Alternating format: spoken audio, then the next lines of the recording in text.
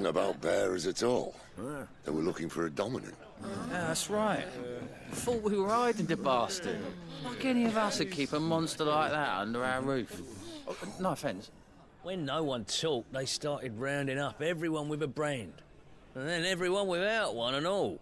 And locked you in the cellar, hoping sooner or later someone would break.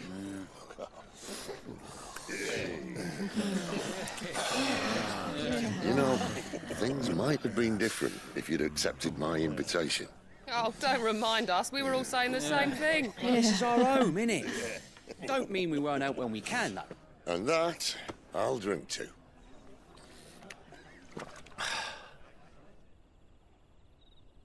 Oh, come hear the tale of Lord Dion the Bold, whose tamed worms a thousand and slain the tenfold.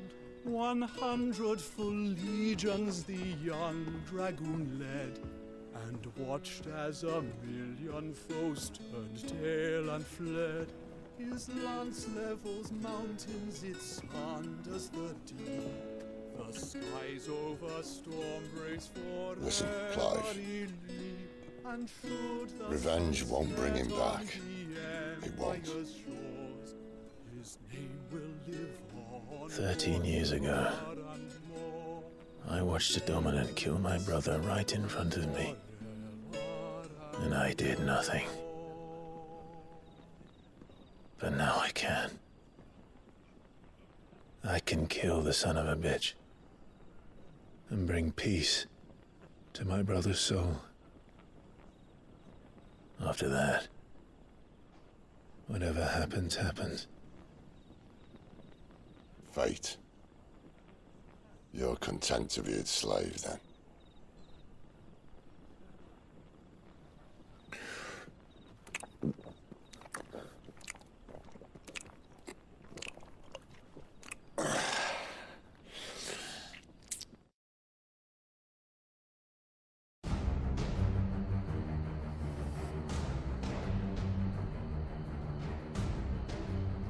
His radiance would have us believe the Imperial host invincible. Yet here we find the Empire's cornerstone teetering on the backs of a handful of cowards and cutthroats. While Bahamut may lead a hundred full legions, could it be that the young prince defends a house of cards ready to topple at the slightest breeze? Tell me something. Why do you not resist? Within you lies the power to slay gods. The phoenix perished in your flames. Yet you do not fight. You do not flee. You refuse your gift.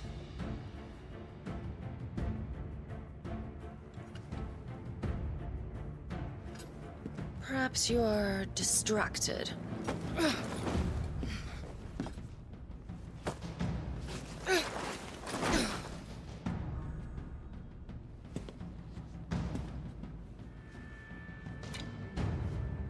My offer still stands. Join us and you will be treated with the respect one of our kind deserves.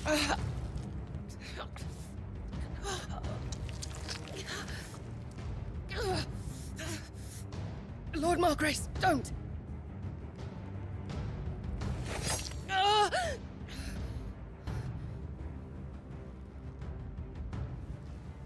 I'll give you a moment to consider your options. Do be gentle with them.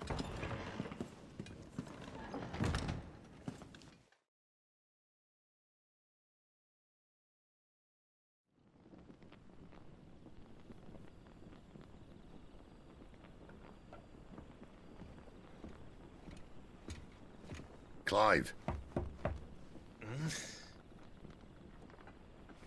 Wake up. Gav's back.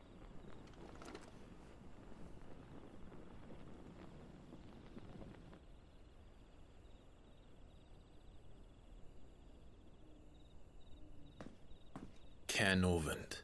One of the Empire's outlying strongholds, though apparently not strong enough to keep out the Royalists. The captured bearers are inside. I'm sure of it. If Benedikta's orders are to stay in the shadows, she won't be travelling with many men. Meaning, she'll be keeping her prisoners together and close by. Including the dominant. So, we find a way into the fortress and conjure a bit of chaos. Uh, what about me? Excellent question, Gav. You will wait outside the care and guide those I free to safety. And miss all the fun. Why can't he do that? Clive doesn't have your nose. He'd stumble off a cliff before he even found the men. Come on, Gav. You're the best man for the job. Well, when you put it that way. Suppose I better scout ahead for any surprises. Don't you let him down. I won't. All right. Shall we? Not so fast. We wait until tomorrow. But he's right there. And if we leave now, we'll arrive just as the sun comes up. Maybe join the guards in breaking their fast. Come on, Clive. They only just took the place. They'll be there a while yet. We've got one chance at this. You don't want to waste it, do you? No.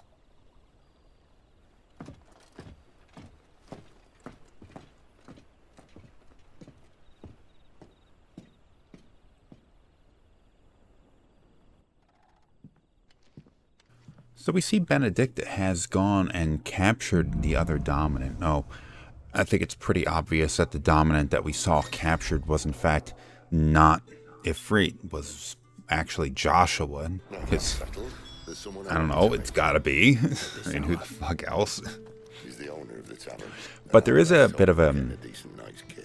We're getting a little bit of an idea of what her intention was with the whole thing because she captured him because he is so powerful and she wants to turn him to her cause. Now, I don't know how you um, do that by torturing his companions and all that, but you know, they were able to convince Clive to fight for the Empire just by putting a tattoo on his face. So, fuck, I guess it works. Whatever. Oh, yes. so, Clive is motivated by the singular desire for revenge. And Cid is kind of was using that motivation before and maybe thinking that Clive would help him out after he helped after uh, Cid helped Clive get the vengeance. But now he's trying to tie, trying to talk him back a little bit, trying to walk him back off of that cliff a bit, saying like, "Yeah, it's not going to get your brother back." But Clive is he's definitely this is the one thing that he wants. He wants this vengeance, and he's going to try and get it at least. Not, of course, realizing that he's the Quentin, problem. my good you know? man. It seems we'll be spending the night. I thought as much. Where do you find that one? Oh, him? You wouldn't believe me if I told you. Quinton here is an old friend, one who is sympathetic to our cause. Sympathetic. And he knows about your little sanctuary. I would never have guessed so many people were bent on setting us free.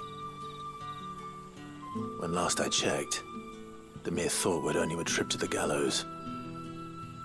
I am well aware of the risks, as I am of the rewards. And what could be more rewarding than your very own dominant of fire? A dominant? Here?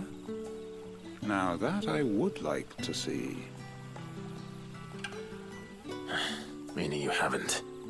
No, but nothing passes unnoticed in Lostwing. Take your brand, for example.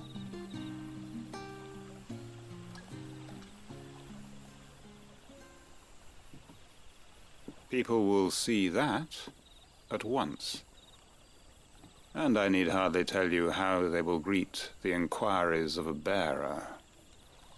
You are afraid your words will fall on deaf ears, as they have ever since the moment you were marked.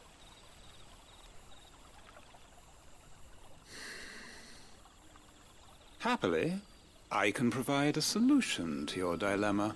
As a favor to Cid, that is.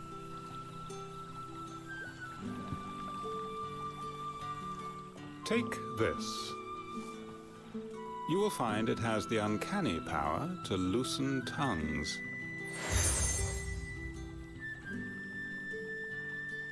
May the mothers guide you.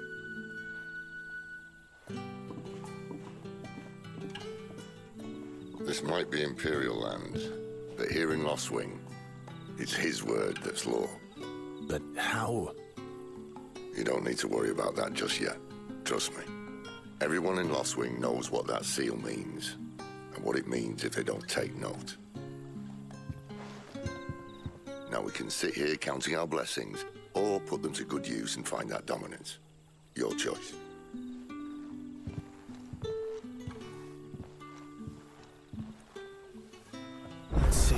Thing really works.